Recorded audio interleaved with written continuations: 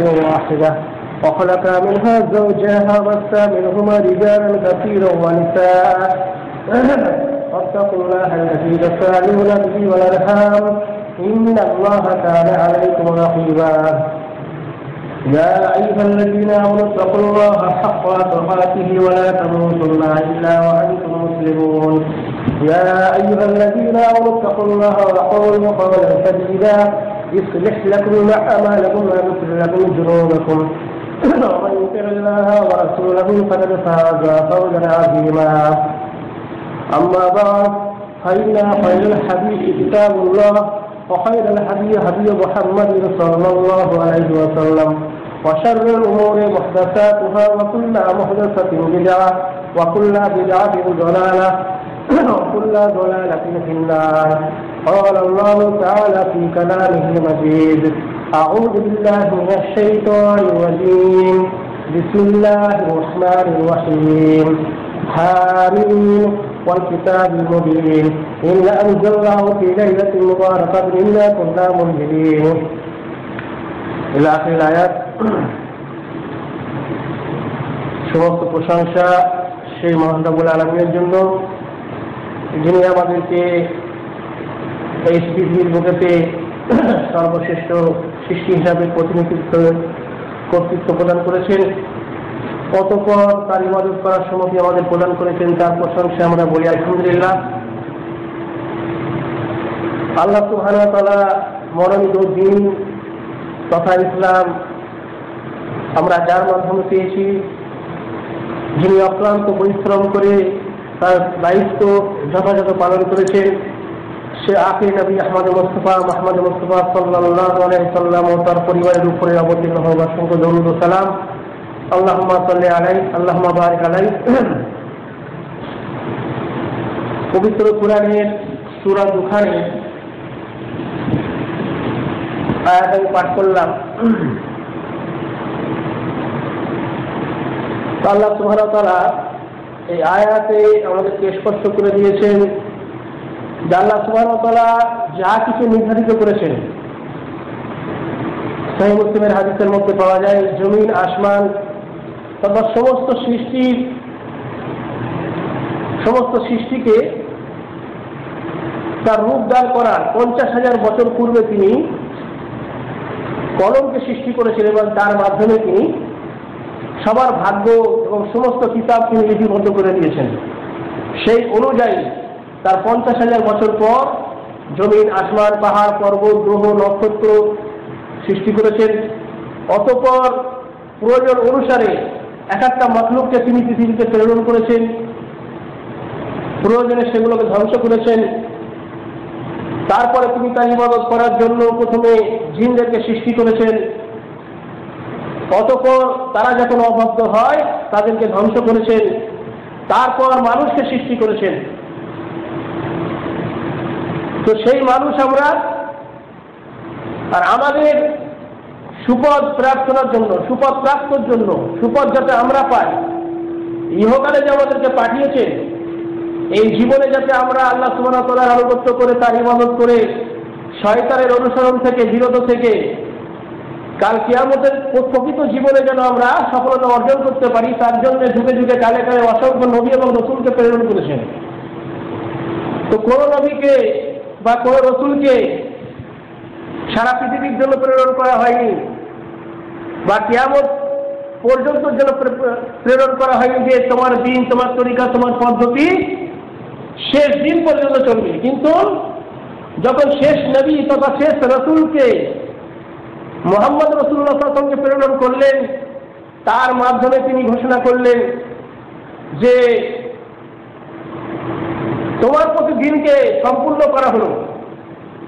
আলিয়াও আসমানতুল আকুম দিন আকুম আসমান্ত আলাইকুম নেমাতি ওরাজিদুল আকুম ইসলাম আদিল আল্লাহ তাআলা আয়াত অবতীর্ণ করে দিলেন। সূরা মায়েদার তিন নম্বর আয়াতের অংশ। যখন মহানবী আলাইহি সাল্লাম ভাষণ প্রদান করছিলেন বিদায় হজ্জের আরাফার ময়দানে, তখন এই আয়াত তার প্রতি অবতীর্ণ হল। তো এই আয়াতের মাধ্যমে আল্লাহ সুবাহ ঘোষণা করে দিলেন যে, আজকের দিনে, আজকের এই দিনে হে মোহাম্মদ, তুমি যে দাঁড়িয়ে আছো, তুমি যে ভাষণ প্রদান করছ, আজকের দিনে তোমাদেরকে যে দিন আমি দিয়েছি, যে পথ দিয়েছি, যে মত দিয়েছি, যে রাস্তা দিয়েছি, তার সমস্ত হাকামকে তার সমস্ত নিয়ম কানুনকে আজকের দিনে পরিপূর্ণ করে দেওয়া হলো। আর কোনো কিছু বাকি থাকল না। আমার যত নিয়ামত তোমাদের প্রতি সম্পূর্ণ করা হলো, আর দিন হিসাবে ইসলামকে আল্লাহ সুবাহ তালা গ্রহণ করে নিলেন আজকের দিনে। পরবর্তীতে মোহাম্মদ রসুল্লাহ সাল্লামের ইন্তেকালের পরে খলিফা হলেন আবু বকর রাজিয়াল্লাহু তাআলা অতপর তারপরে খলিফা হলেন উমর রাজিয়াল্লাহু তাআলা তো সেই উমর রাজিয়াল্লাহু তাআলাকে একদিনকে একটা ইয়াহুদি যারা উজাইর আলাইহিসসালামের পূজা করে, যারা এক আল্লাহ ব্যতীত অন্যের পূজা করে এবং যারা দিন ইসলামের আগতকে স্বীকার করেনি, বরং দিন ইসলামের প্রতি সদা শত্রুতা পোষণ করে এসছে। সেই একজন ইয়াহুদি ওমার রেজাল তালানহকে বলছেন যে আপনাদের পবিত্র কোরআনে একটা আয়াত আছে। সেই আয়াতটা যদি বা তার সমর্থপূর্ণ আয়াত যদি আমাদের কিতাবের মধ্যে থাকতো তত তাওরাতের মধ্যে থাকতো, তাহলে যেই দিন সেই আয়াতটা অবতীর্ণ হয়েছিল বা হতো, সেই দিনকে আমরা বাস্তবিক উৎসব পালন করতাম, খুশি পালন করতাম। তোমার উমার রাজেলা তারা তার কথা শুনে মুচকি হাসলেন। এবং বললেন, যে ভাই, তুমি যেটা বলতে চাচ্ছ আমি বুঝতে পেরেছি। সেটা হচ্ছে সুরা মায়াদার তিন নম্বর আয়াতের অংশ। আলিয়াও আকমালতু লাকুম দীনাকুম ওয়া আতমামতু আলাইকুম নি'মাতি ওয়া রাদিতু লাকুম ইসলাম দীনা। তার এই কথা শুনে সেই ইয়াহুদিও হেসে ফেললেন যে হ্যাঁ তাহলে কত গুরুত্বপূর্ণ আয়াত। যে দিন ইসলামকে কমপ্লিট করে দেওয়া হলো, পরিপূর্ণ করে দেওয়া হলো, তারপরে দিন ইসলামের মধ্যে আর কোনো কিছু অন্তর্ভুক্ত হবে না। আর সত্যি তারপরে তারপরে মহানবী সাল্লাহ সাল্লামের মৃত্যু পর্যন্ত জুলহিজা মাসের নবম তারিখ থেকে নিয়ে মহারম সফর রবিউল আউ্বালের বারো তারিখে যখন আল্লাহ রসুল সাল্লামের মৃত্যু হচ্ছে প্রায় তিন মাস পর তিন মাস, তিন দিনের মাথায়। এই আয়াতটা অবতীর্ণের তিন মাস, তিন দিনের মাথায় যখন মহানবী সাল্লামের মৃত্যু হচ্ছে, এই কালেতে, এই সময়ে আর কোন নিয়ম নীতি, নতুন আয়াত যে হাঁকা মানে আদেশকৃত বা নিষেধকৃত কোন আয়াত অবতীর্ণ হয়নি।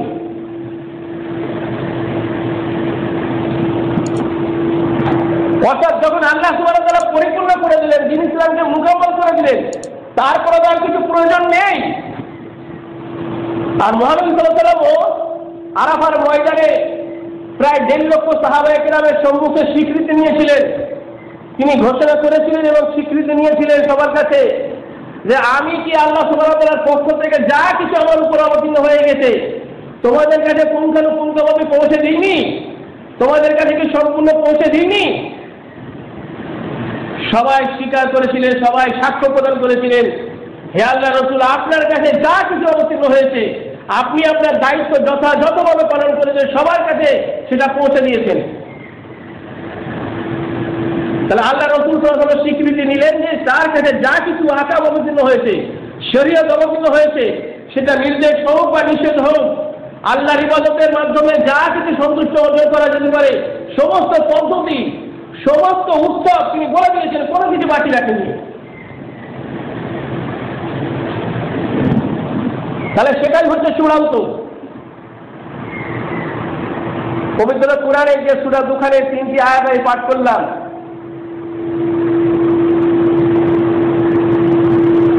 এই আয়াতগুলোকে বর্তমানের বিদাতিরা, বর্তমানে যারা বিদাত করে,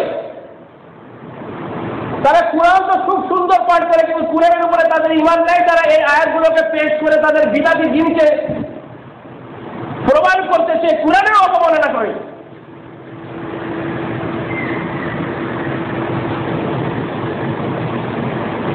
আসছে সামনে, আজকে হচ্ছে শাবান মাসের আট তারিখ। আগামী শুক্রবার সাবান মাসের পনেরো তারিখ। চোদ্দ তারিখ দিবাগত, পনেরো তারিখের রাতে তারা পালন করে সবে বরাত। আর তারা পবিত্র কুরের আয়াত দ্বারা সেই রাতটাকে প্রমাণ করার অপচেষ্টা করে, অপকৌশল করে।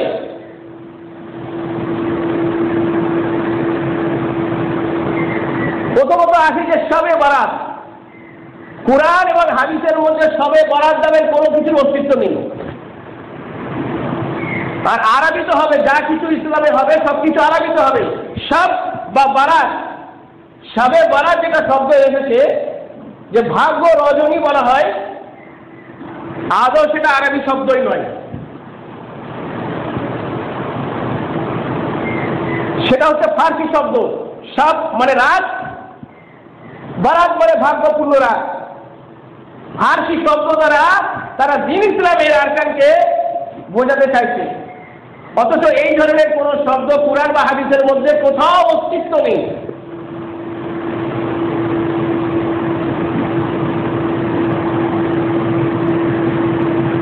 বরং বারাত শব্দ দ্বারা। বারাত শব্দ দ্বারা ভঙ্গ, চুক্তি ভঙ্গ বা বিচ্ছেদ বোঝাতে চাই।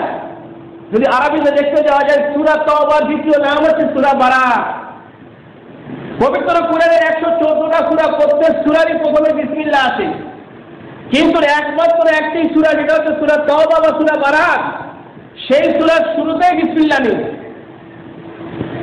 কারণ আল্লাহ সুবাহ তারা সেই সমস্ত মুসলিকদের হুমকি দিয়েছে শুরুতেই একদম। যারা মুসলমানদের সঙ্গে চুক্তি স্থাপন করেছিল, অতপর তারা সেই চুক্তি পালন করেনি চুক্তি ভঙ্গ করেছিল আল্লাহ সুবাহ সুরার শুরুতে কয়েকটা আয়াত দিয়েছেন যে, যারা বারাত চুক্তি ভঙ্গ করেছে, তাদেরকে যেখানেই পাও সেখানে হত্যা করো। সেই সমস্ত কাফেরদেরকে যেখানে পাবে সেখানে হত্যা করবে। চুক্তি ভঙ্গের পরে আর চুক্তি তোমাদের খেয়াল রাখতে হবে কারণ ওরা চুক্তি ভঙ্গ করেছে। সাহি হাদিস নম্বর তিনশো উনসত্তর।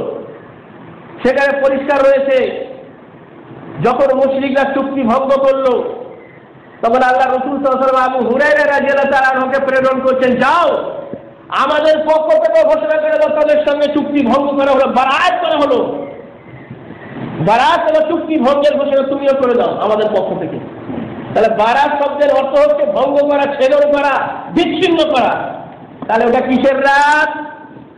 বিচ্ছিন্ন হওয়ার রাত। যদি ওদের পাশে বলা হয় বারাত,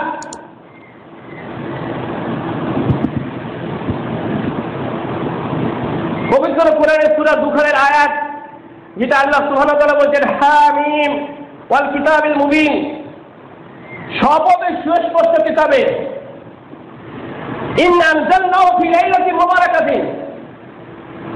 আমি এটা অবতীর্ণ করেছি একটা মোবারকপূর্ণ রাতে।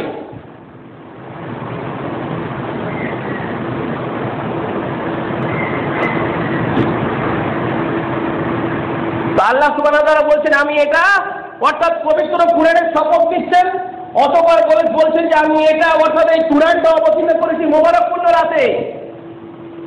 পরের আয়াতে বলছেন, এই রাতে সমস্ত কিছু স্থিরীকৃত হয়। সমস্ত কিছু সিদ্ধান্ত গ্রহণ করা হয় এই রাতে। যে সমস্ত বিদাতি আলেমরা ওই রাতটাকে পনেরো সাবারের রাত দেখাতে চায়, তারা মানে অন্ধ হয়ে গেছে কানা হয়ে গেছে, তাদের জ্ঞান উড়ে গিয়েছে।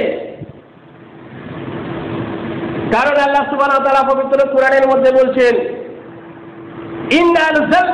লাইলাতিল কদরি। আমি এই কোরআনটাকে অবতীর্ণ করেছি লাইলাতুল কদরের রাতে। ওমা আদরাকা মা লাইলাতুল কদর। হে নবী, তুমি কি জানো সেই লাইলাতুল কদর কি? লাইলাতুল কদরে খয়রুম মিন আলফি শাহরিন।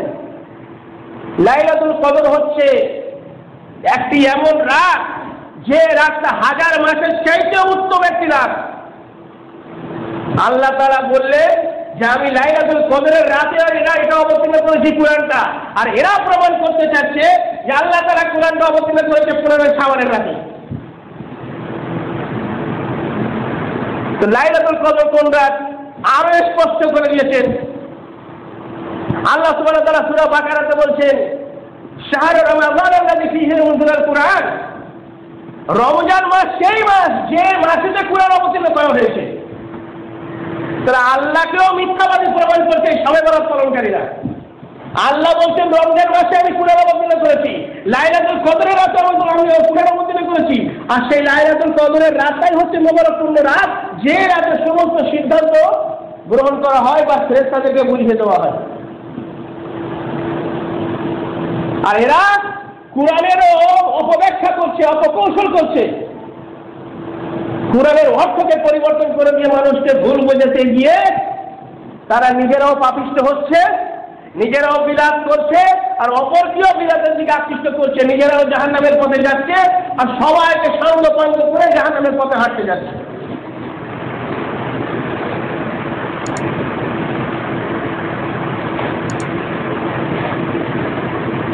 তারা কিছু হাদিস পেশ করে থাকে। ওই রাতের ফজিলতপূর্ণ যে ওই রাস্তা সেটা বোঝাতে গিয়ে। আর অধিকাংশ হাদিসগুলো কোথায় আছে? ইবনু মাজাতে আছে। আগে বলা হতো সিয়াসিস্তা বা ছয়টি সহি কিতাব, কিন্তু ছয়টি সহি কিতাব নয়, বরং কুতুবি সিস্তা ছয়টি কিতাব। তার মধ্যে দুটি কিতাব সহি এতে কারোর মতো তারাও স্বীকার করে যে সহিউল বুখারি এবং সহিউল মুসলিমের মধ্যে কোন জয়ীব জাল হাসি একটাও নেই। কিন্তু তারপরে স্তরগুলোতে যদি ধরা হয়, তিরমিজি, আবু দাউদ, নাসাই, ইবনু মাজা এই চারটি গ্রন্থের মধ্যে সবচাইতে জয়ীব এবং জাল হাদিস যাতে আছে, সেটা হচ্ছে ইবনু মাজা আর ইবনু মাজাতেই অধিকাংশ পনেরোই সাবানের রাতের যে ফজিলতের হাদিসগুলো তাতে এসছে। আর সেই একটা হাদিসকে ইমাম তিরমিজি তার গ্রন্থের মধ্যে সংকলন করেছেন এবং সেই হাদিসের নিচে তিনি ভালো করে ব্যাখ্যা করে দিয়েছেন যে হাদিসটা আমি ইমাম বুখারিকে এবং মোহাম্মদ বিন ইসমাইলকে বলতে শুনেছি এই হাদিসটা যেই এই হাদিস গ্রহণযোগ্য নয়। তারা যে হাদিস পেশ করে থাকে যে যখন পনেরো সাবানের রাত আসে, সেই মাগরিবের সময় থেকে নিয়ে পনেরো রাত, পনেরো সাবানের রাত যখন শুরু হয়, সেই রাত যখন শুরু হয়, তখন আল্লাহ সুবহানাহু তারা সাত আসমান থেকে প্রথম আসমানে নেমে আসেন। আচ্ছা নামবে কি দিয়ে? পা দিয়ে তো নামবে। প্রথমত তাদের আকিদার মধ্যে গন্ডগোল তারা বলে, আল্লাহ হচ্ছে নিরাকার। তার আকার নেই, আবার বলে, আল্লাহ নেমে আসে। কি করে হয় তা আল্লাহ জানে। তারা বলে, আল্লাহর আকার নেই। আল্লাহ হচ্ছে নিরাকার। নিরাকার যার, যে ব্যক্তি নিরাকার, যে যে নিরাকার, তার কোনো কিছুই নেই, কোনো আকারই নেই। তার পাটা কত হবে তার পা হলে কবে নামবে। আকার হবে কবে নামবে। এরা নিজেদেরই আকিদার বিপরীত ব্যক্ত করতে থাকে মানুষের কাছে। যাক, তারা বলে যে আল্লাহ আল্লাহ তালা পনেরোই সামানের রাত যখন আসে তখন প্রথম মাস মানে নেমে আসেন এবং বলতে থাকেন যে, কে এমন আছো যে গুনাহ করেছ? আমার কাছে গুনাহের ক্ষমা চাও, আমি তাকে ক্ষমা করব। কার কি প্রয়োজন আছে আমার কাছে চাও, আমি তাকে সেটা দান করব। এই রূপ আল্লাহ সুবহানাহু তাআলা ফজর পর্যন্ত বলতে থাকেন। তাহলে এখান থেকে বোঝা যাচ্ছে কি, একটা রাতে আল্লাহ নেমে আসেন। একটা রাতে। পনেরো সাবানের রাতে আল্লাহ নেমে আসেন।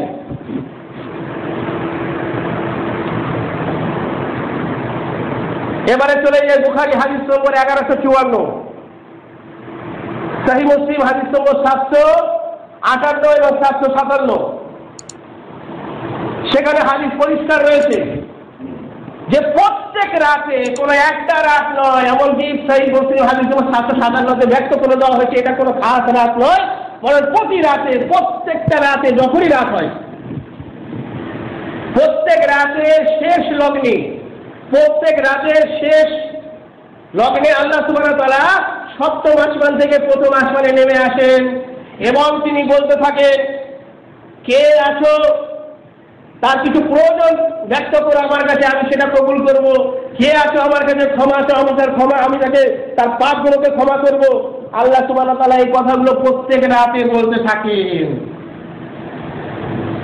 ওরা স্বীকার করে যে বুখারির মধ্যে কোনো জৈব এবং যার হাদিস নেই। ওরা স্বীকার করে যে সাহি মুসলিমের মধ্যে কোনো জৈব এবং যার হাদিস নেই। তারপরেও এই হাদিসগুলোর বিরুদ্ধে ওরা যার হাদিস তৈরি করেছে যে আল্লাহ তালা প্রত্যেক হাত হাতে নয়, ওরা এক হাতে নেমে আসে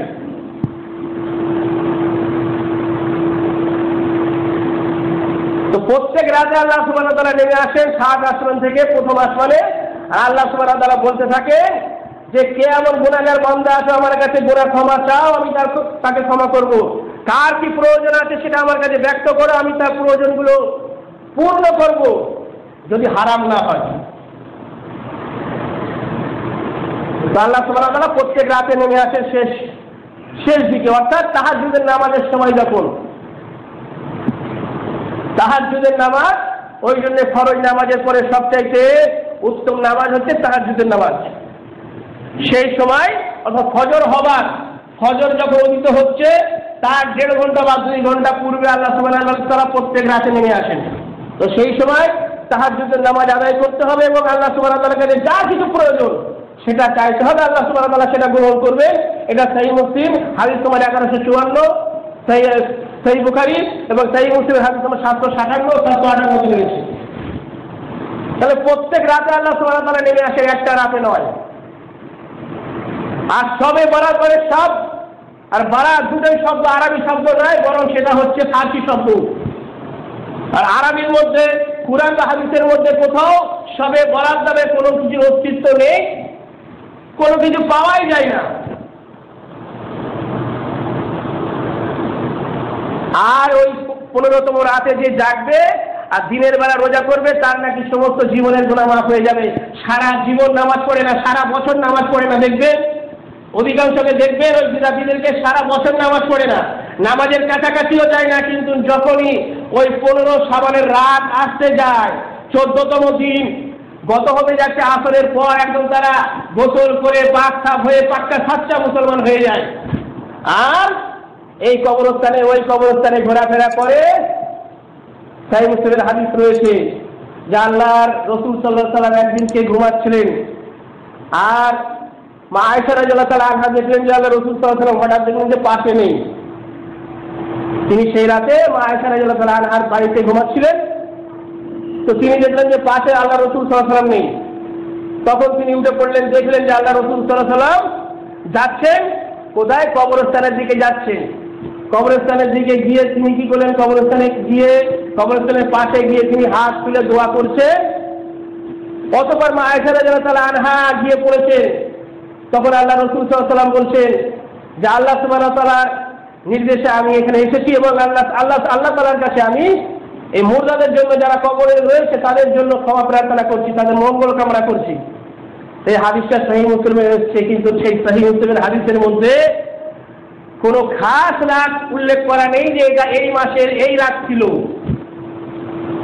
কিন্তু অন্য অন্য গ্রন্থের মধ্যে হাদিসটা অন্য সূত্রে বর্ণিত হয়েছে, সূত্রে বর্ণিত হয়েছে এবং সেখানে করে দেওয়া হয়েছে। পনেরোই সাবারের রাতে আল্লাহ রসুল সাল্লাম গিয়ে কবরস্থানের কাছে গিয়ে কবর জিয়ারত করছিলেন। মোরদানের জন্য তিনি হাত তুলে দোয়া করছিলেন।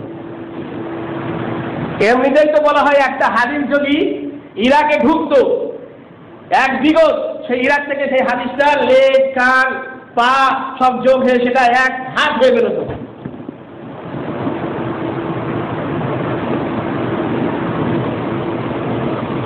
আল্লাহ রসুল সাল্লাম কবর জিয়ারত করেছেন, কবর জিয়ারত করার নির্দেশ দিয়েছেন, যেহেতু কবর জিয়ারত করলে পরে মানুষের মৃত্যু বেশি স্মরণ হয় এবং যে ব্যক্তি মৃত্যুকে জানবে যে মরতেই হবে, যে ব্যক্তি মৃত্যুকে স্মরণ করবে, আল্লাহ সুবাহ তালের যে দণ্ড- দণ্ডায়মান হতে হবে, তার কাছে হিসাব নিকাশ পেশ করতে হবে। এটা তো স্মরণ হবে এবং এই স্মরণ করে সে গুণা থেকে বিরত থাকবে। তো কোনো খাস সময় নয়, কবর জিয়ারতের কোনো খাস সময় নেই, যে ঈদের সময় বা প্রত্যেক জুমার পরে এমন কোনো সময় নয়। আপনার যখন ইচ্ছে, আপনি আপনার আত্মীয় স্বজন পাড়া প্রতিবেশীদের কবরস্থানে যান, সেখানে তাদের জন্য আপনি প্রার্থনা করতে পারেন। তাদের জন্য প্রার্থনা কর- করবেন, কিন্তু তাদের কাছ থেকে কিছু চাইবেন না। তো কোনো খাস রাত নয়। অথচ সেই হাদিসটাকে তারা অন্য অন্য গ্রন্থের মধ্যে যেটা এসছে যার হাদিস, সেটাকে উপলক্ষ করে তারা ওই পুরনো সাবানের রাতে ডো ডো করে এক কবরস্থান থেকে অপর কবরস্থানে ঘুরতে থাকে, আর বোমা ফাটকা ফাটাতে থাকে, বাজি ফাটাতে থাকে, আর মসজিদে গিয়ে ওই হাজার রাকাত নামাজ হাজার রাকাত নামাজ কজন পড়ে, আল্লাহ জানে। তো ওই হাজার রাকাত নামাজের নামে তারা ওই বিলাতি নামাজ পড়তে থাকে। যেটা কোরআনে নেই, যেটা হাদিসে নেই, সেটা যত সুন্দর করা হোক না কেন সেটা বিরাট।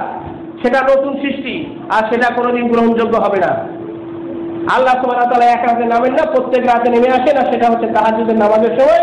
ওই সময় আল্লাহর ইবাদত করে আল্লাহ সুবহানাহু তাআলার কাছে দোয়া করলে আল্লাহ সুবহানাহু তাআলা কবুল করেন। তাই সঠিক সঠিকভাবে জানতে হবে। সঠিক জিনিসটার অনুসরণ করতে হবে আর ভুল যেটা আমাদের সম্মুখে পেশ করা হয় যে যেটা ভুল প্রচার করা হয় তা থেকে বিরত থাকতে হবে আল্লাহ সুবহানাহু তাআলা যারা এই সময় আমাদেরকে প্রদান করেন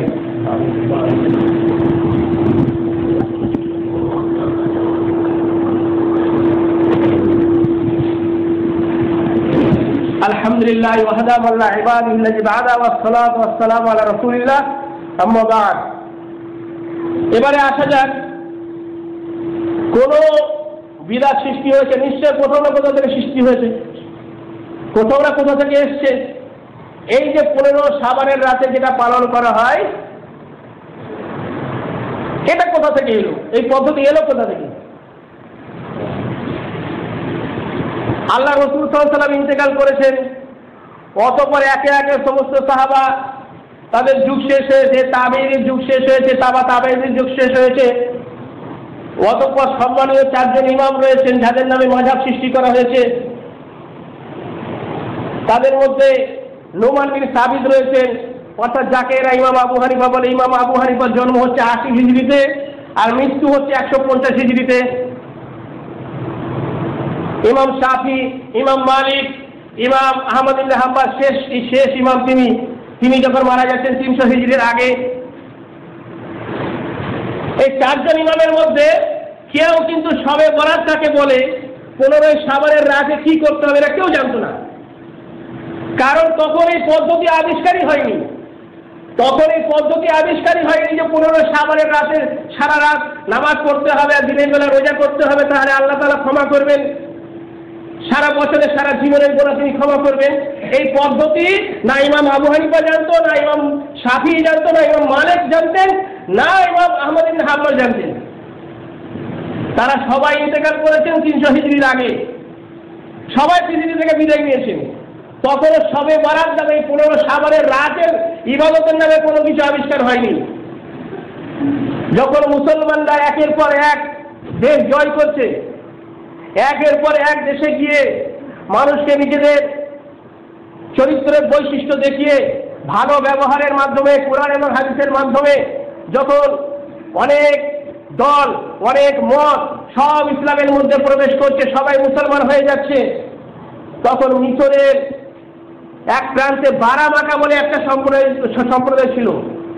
আর এই স্টোরি লিখিত রয়েছে হানাফিদের যে ইমাম মোল্লা আলী মোল্লা আলী। তার কিতাব মিরকাত মিরকাতের দ্বিতীয় খণ্ড তিনশো আটান্ন থেকে নিয়ে তিনশো পঁয়ষট্টি পৃষ্ঠা পর্যন্ত এই ঘটনা, এই ইতিহাস লিপিবদ্ধ রয়েছে। তো মিশরের কাছে বারামাখা বলে একটা সম্প্রদায় বসবাস করত।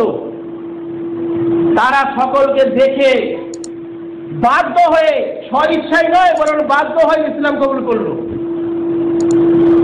আর তারা ছিল অগ্নি পুজো, আগুনের পূজা করত।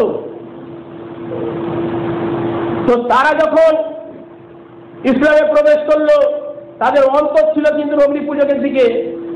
অতপর সেই সময় কিছু জয়ীফ এবং জাল হাবিস পনেরোই সাবানের নামে, পনেরোই সাবানের রাতের ফজরিদের নামে তাদের কাছে গেল। সেইখানকার ইমামরা সেটা প্রচার করত। তখনও হাদিস তাহাকিক শুরু হয়নি। অতপর এটাকে লুফে নিল ওই বারামাটা সম্প্রদায়।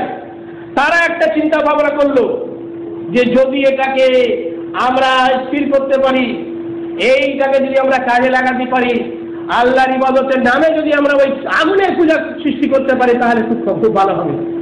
অতপর তারা কি করল? চারশো আটচল্লিশ হিজড়িতে সবচেয়ে আগে সবচেয়ে প্রথম ওই পনেরোই সাবানের রাতে যাক জগৎপূর্ণ ইবাদত করা হয়েছিল যেটা মিশরেতে, সেটা হলো চারশো আটচল্লিশ হিজড়িতে। আল্লাহ রসুল সাল্লাহ সাল্লাম মৃত্যুর চারশো সাঁত্রিশ বছর পরে তারা কি করল? মসজিদকে খুব ভালো করে সাজালো। চারিদিকে আগুন দিয়ে, মোমবাতি হোক বা আরও কিছু হোক দিয়ে, লাইট দিয়ে, বাতি দিয়ে তখনকার যুগে যেটা ছিল, সেটা তারা মসজিদকে ঘিরে দিল চারিদিকে আগুনের আগুন। আর তারা মসজিদের ভিতরে আল্লাহর ইবাদতের নামে শুরু করল অগ্নি পূজা। সাধারণ মুসলমানও তাদের এই চক্রান্ত বুঝতে পারল না। তারাও তাদের চক্রান্তের মধ্যে গ্রেপ্তার হয়ে গেল এবং তারাও শুরু করল ওই পনেরো সাবানের রাতের ইবাদত। এভাবে অনেক দিন চলার পরে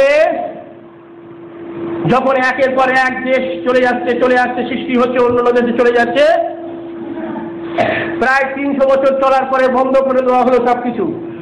কিন্তু ইরাকে চলতে থাকল। ইরাক এবং ইরানের মধ্যে চলতে থাকল। আর সেই ইরাক এবং ইরান থেকে ভারতের মধ্যে প্রবেশ করেছিল ওই বাবর খানদার বাবরের গোষ্ঠী। আর সেখান থেকে কিছু মুসলমান ভারতের মধ্যে এসেছিল। আর ভারতের মুসলমানরাও তখন কি ছিল? তাদের পূর্বে কি ছিল? আমাদের পূর্বপুরুষ, তাদের পূর্বপুরুষ যদি ধরতে যায়, তাহলে তারাও হিন্দু ছিল, ওই মূর্তি পূজারী ছিল। মূর্তি পূজারীদের প্রধান উৎসব কি? যেটা গত হয়ে গেল। দীপাবলির রাত। তারা ওই দীপাবলির রাতেতে চারিদিকে মোমবাতি আর লাইট জ্বালায়। এরা ওটাকে লুফে নিল যে যাক, আমাদের দীপাবলির মতো ওটা পনেরো সাবানের রাতে এরাও শুরু করে দিল ওই মোমবাতি জ্বালানো। এরাও ওই দীপাবলির রাতে উদযাপন করে, বোমা ফাটায়, পটকা ফাটায়, বাজি ফাটায়। মুসলমানরাও ওই নবমুসলিমরাও স্বীকার করে নিল, সেটাকে লুফে নিল যে পনেরো সাবানের রাতে আমরা ওটা করব। আর সেই থেকে চলে আসছে এই ভারতের মধ্যে, ভারতীয় উপ- উপমহাদেশের মধ্যে বিভিন্ন প্রান্তে এই সবে বরাতের নামে এই চক্রান্ত, এই শয়তানি প্রোপাগান্ডা চলছে। মোল্লা আলী কারি, হানাফিদের ইমাম, হানাফিদের মুহাদ্দিস, তিনি তার কিতাবের মিরকাতের দুই খণ্ডে তিনশো আটান্ন থেকে নিয়ে তিনশো পঁয়ষট্টি পৃষ্ঠার মধ্যে এই ঘটনা ব্যক্ত করে গেছেন। আমরা বলছি না, তাদের ইমাম লিখে গেছে। তাহলে সবে বরাতের নামে, সবে বরাতের রাতের নামে যে ইবাদত আবিষ্কার হয়েছে, সেটা চারশো আটচল্লিশ হিজড়িতে হয়েছে। চারশো আটচল্লিশ হিজড়ির আগে কেউ জানতো না যে পনেরো সাবানের রাত কাকে বলে, তার ইবাদত কীভাবে করতে হবে। আর সলাতুর রাগাইব নামে, একশো রাকাত নামাজ নামে, ওই রাতের নতুন নামাজ চালু করেছে। সলাতুর রাগাইব নামে একশো রাকাত নামাজ চালু হয়েছে। তাদেরই ইমামদের মিথ্যা প্ররোচনায়। আর এটাকে ইসলামের মধ্যে প্রবেশ করে দেওয়া হয়েছে। সেটা ইসলামের অঙ্গ।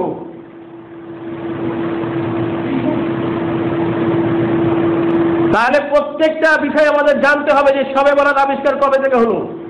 এক তো সব বারাত শব্দ দুটি আরবি নয়, যদি বারাত ধরতে যাওয়া যায় ধরতে যাওয়া যায়, তাহলে তকদির ভঙ্গের রাত আর আল্লাহ তাআলা বলে দিলেন যে এটা হচ্ছে মোবারকপূর্ণ রাত, সেটা হচ্ছে লাইলাতুল কদরের রাত। কারণ আল্লাহ বলছেন, এই রাতেতে আমি কোরআনকে অবতীর্ণ করেছি, সেটা হচ্ছে মোবারকপূর্ণ রাত। আর আল্লাহ তালা পরিষ্কার বলে দিলেন, শাহরু রমাজান আল্লাহ দুরুদুল্লাহ ফিহিল কোরআন। যেই রমজান মাস, সেই মাস যে মাসে কোরআন অবতীর্ণ করা হয়েছে ইন্নান জান্নাও ফি লাইলাতুল কদর, লাইলাতুল কদরের রাত সেটা। যে রাতে কোরআন অবতীর্ণ করা হয়েছে, তার সাবানের রাত নয়। আর ওই দিনকে ভাগ্য ফেরেস্তাদেরকে দেওয়া হয়। অর্থাৎ লাইলাতুল কদরের রাতে আল্লাহ সুবহানাহু তারা দ্বারা যেটা লিখিত হয়েছে পৃথিবীর ভাগ্য, সেই রাতেতে ফেরেস্তাদেরকে সেটা অর্পণ করা হয় যে আগামী এক বছরের মধ্যে কারা মরবে, আগামী এক বছরের মধ্যে কত শিশু জন্ম লাভ করবে, আগামী এক বছরের মধ্যে পৃথিবীতে কি কি ঘটবে, সমস্ত কিছু আগে থেকে লিপিবদ্ধ আছে, দায়িত্বপ্রাপ্ত ফেরেস্তাদেরকে সেই দায়িত্ব বুঝিয়ে দেওয়া হয় ওই রাতে। সেটা হচ্ছে লাইলাতুল কদরের রাত। পনেরোই সাবানের রাত মোটেই নয়। তাই আমাদের সজাগ হতে হবে, আমাদের জানতে হবে সঠিকটা।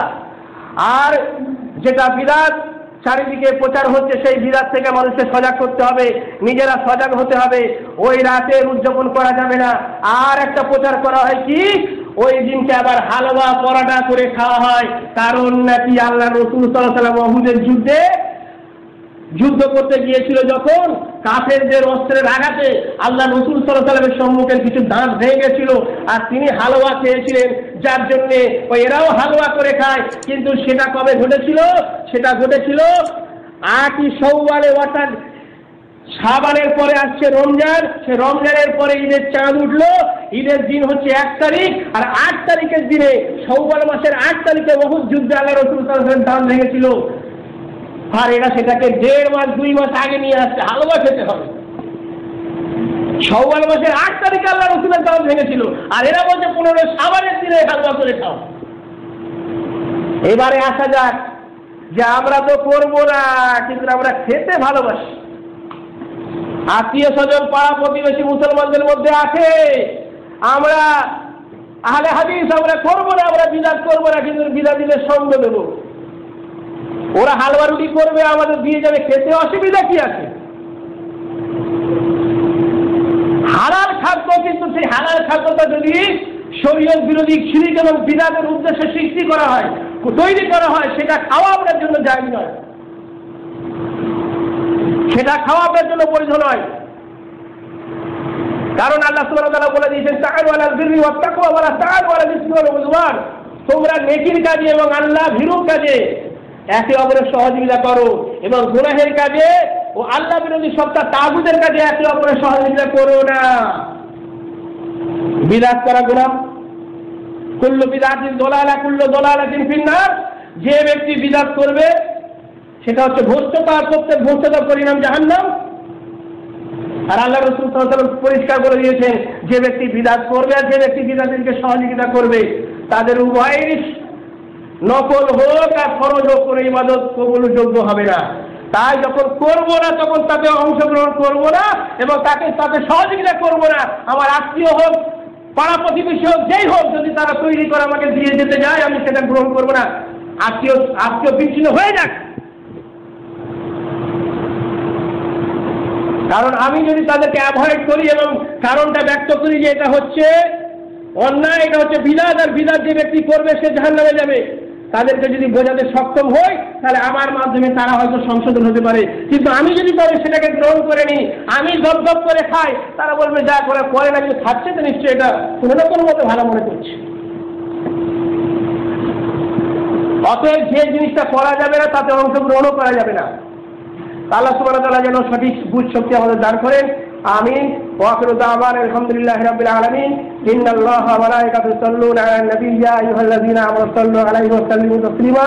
اللهم صل على محمد وعلى آل محمد كما صليت على إبراهيم وعلى آل إبراهيم إنك حميد مجيد. اللهم بارك على محمد وعلى آل محمد كما باركت على إبراهيم وعلى آل إبراهيم إنك حميد مجيد. ربنا تقبل منا إنك أنت السميع العليم وتب علينا إنك أنت التواب الرحيم.